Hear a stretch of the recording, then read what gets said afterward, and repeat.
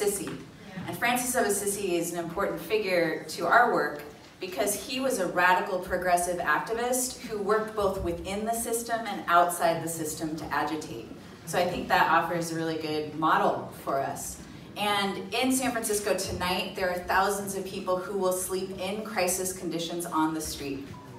How many people here live in a city or county where tonight thousands of people will live in crisis conditions on the street? Wow. How many people feel that the status quo of what their government doing is to scale to the size of the crisis? Like, yeah. so, so really not. So uh, today, what I'm here to do is give a toolkit, like Matt Gonzalez was talking about earlier, and also the mayor of SLO was talking about with, you know, we have protests turned into policy. I've really been working with my organization and with a multi-stakeholder group to design a code-compliant framework for activating both public and private land for emergency shelter response. So Socrates is gonna help me out here. This is, you might not be able to see this that well, but San Francisco, Los Angeles, Oakland, San Jose, and Paradise, and Chico, and Sacramento.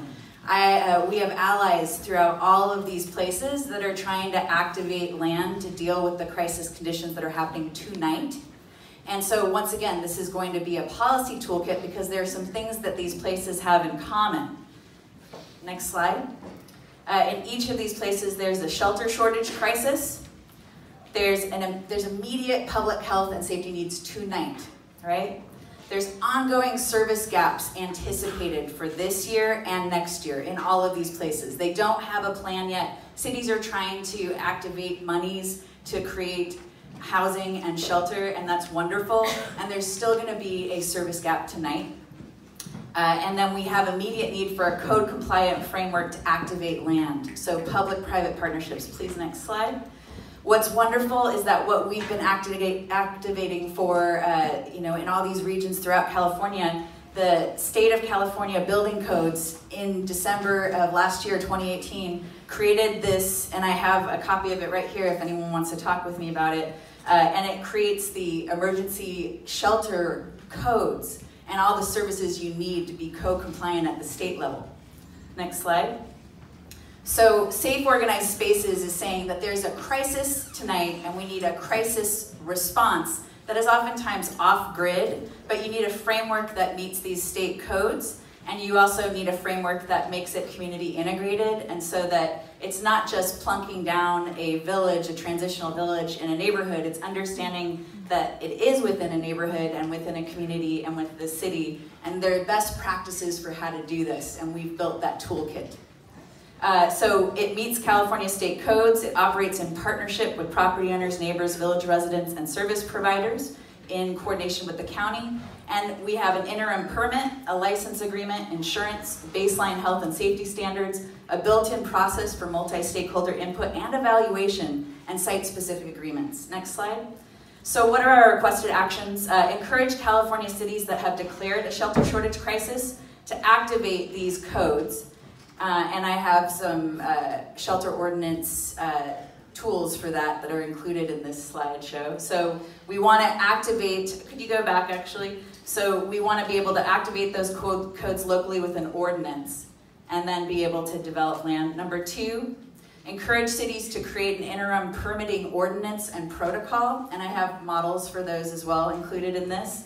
And so we want to make sure that uh, people are doing the right steps at their city council and their county supervisors to be able to work in compliance to activate land.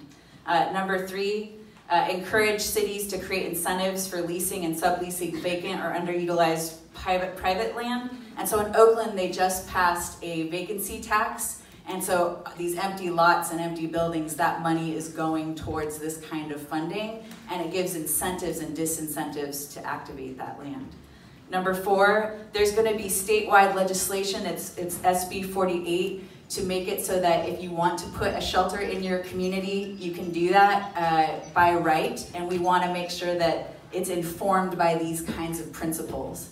And the last uh, slide here, these are all the tools that I offer to you. So you might be overwhelmed at this point because this isn't your specific issue. But you, how many people here know someone in your area that's specifically working on activating land to deal with the shelter shortage crisis? It might not be you, but now you have this framework and toolkit that I happily share with you. And once again, we have regional allies all over the place. This gives you the sample drafts and the different ordinances that you can activate land. And there are also a couple folders for service providers because in Seattle, this has been a successful program, and I've collected all of the models that, uh, of the paperwork for the intake forms, for the management plans, all those little details that make it really easy to build off of, but are sometimes hard to start from scratch. You know what I mean? So we're building off of what exists already, and my organization has been working on a budget for these off-grid transitional villages that meet state code. And that's also included in this packet here. And there actually is one more last slide. And you'll see that these are two shelters that we, emergency shelter cabins that we built in San Francisco and people lived in while they were in transition. I have this information here available. Is this something that's gonna go out to folks in an email? We will, we will be showing the video on our, um, on our website. Okay, so uh, if there, if this is available, you can ask me. I have a card, and I'm happy to share this. Uh, and I saw all those hands go up for people who know people in different places. Please come up to me and give me your information or ask for mine because we are doing this statewide networking, and I'm a pollinator for that kind of work. And I know that you know pollinators or maybe one yourself. So let's go ahead and actually meet the scale of the crisis for the people who are living on the streets and once again, this isn't just for people who are displaced because of economic or behavioral challenges in their life.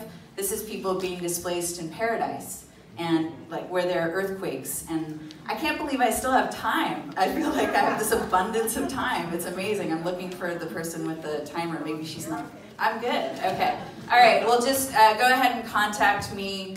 And SOS is the crisis. What's the solution? SOS. Safe, organized spaces. SOS. SOS is the crisis. What's the solution? Safe, organized spaces. And, and the beauty of this is that the framework is broad enough that it creates, it hits all those needs that cities and counties have for the specifics of this needs to be code compliant. I need to make sure that there's a community process. I need to understand how the staffing is going to support the needs of the population that's here. It's scalable though. So it's very well designed in that way. And once again, people are already doing this kind of work. I'll, I'll alert you to this group in San Jose called San Jose Hope Village. Yep. And unfortunately, this group, very activist Catholic organization, decided to activate uh, underutilized public land in San Jose near the airport. And they did it, and they've been doing it for months at virtually no cost to the city. And the city's gonna shut it down. Yep. They're doing that right now this weekend. And there are groups in Santa Cruz and Chico and Oakland that are doing this in different ways. There's all these iterations. Once again, what is this? This is the framework that we can use up and down the state to say at least it has to check all these boxes. And if it checks all these boxes, then you can do this in your community on public or private land. Why are they shutting it down? I know the update to that, I'm from San Jose. So uh, The FAA said they Yeah, so we'll, we, there's, there's information about that. But uh, I'll just let you know a little bit more information. You know, we were able to activate an empty lot in San Francisco at the Impact Hub with one of our shelters for a year. And we've been doing this work in San Francisco to try to activate land because we see this as a crisis. And I see it as people say, well, what's the big resistance? And I see it as we're whittling down resistance and making it easier and easier to say yes and harder and harder to say no. Safe, organized spaces. Thank you.